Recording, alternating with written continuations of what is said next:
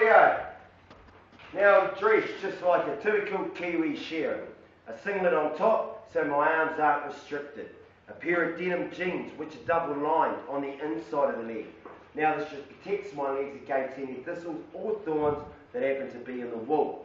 And these silly looking things on my feet, well they're what we call felt moccasins. They just give a shearer stability on a shearing board and they also help them move around their sheep just a little bit quicker. This here is what we call overhead motors. All New Zealand shearing sheds have them. They range from anywhere from a 3 stand up to around a 24 stand. These long dangly bits are what we call down tubes. This is where we connect our handpieces to. The holes are what we call portholes. And these doors, they lead us to what we call catching pens and sheep. So I'll grab us a sheep. Make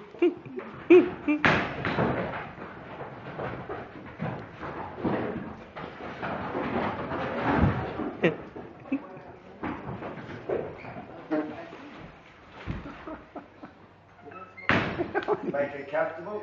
Bit of a wave.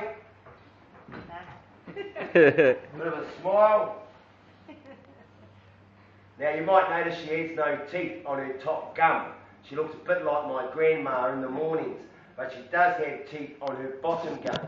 So I can slide my finger into her mouth. She won't bite down on that. She would rather spit my finger out. Dirty finger, clean wool, great combination. Now a sheep shearer like myself will shear anywhere between 280 to 300 sheep in an eight hour day. Now sheep shearers do not get paid by the hourly rate. We get paid by every sheep we shear, around $1.70 per animal. And these silly looking things, this is what we call a handpiece. Solid steel.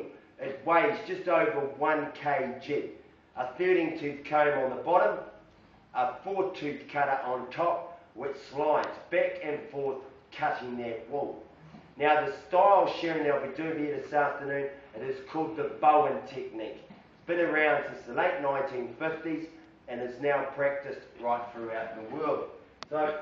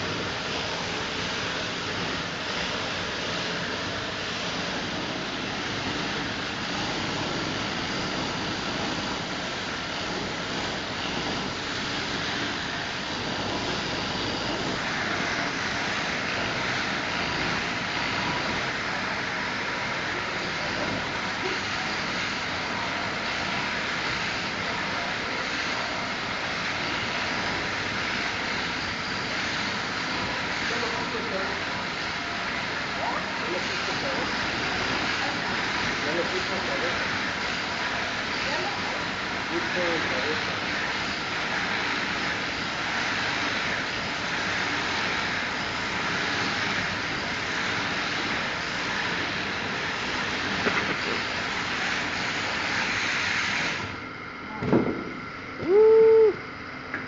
we have it. I'm finally short sheep. How do you think she feels? Bit cold, a bit embarrassed. Well, the best thing I can do for her is stick her outside. She'll get a belly full of grass. That'll generate heat from the inside out. And also in the next 12 hours, her skin thickness will double.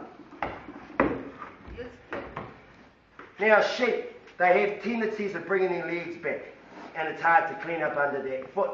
So when she brings it back, I apply a little bit of pressure, and that leg will just pop out. Just like that. Same with the hind quarter. Bit of pressure, straight to the ear. Come and touch it. Come and touch it. Oh, ven. Mira. Lanolin, very, very good for the skin. They use it in a lot of hand creams. Lanolin, yes, very. That's right.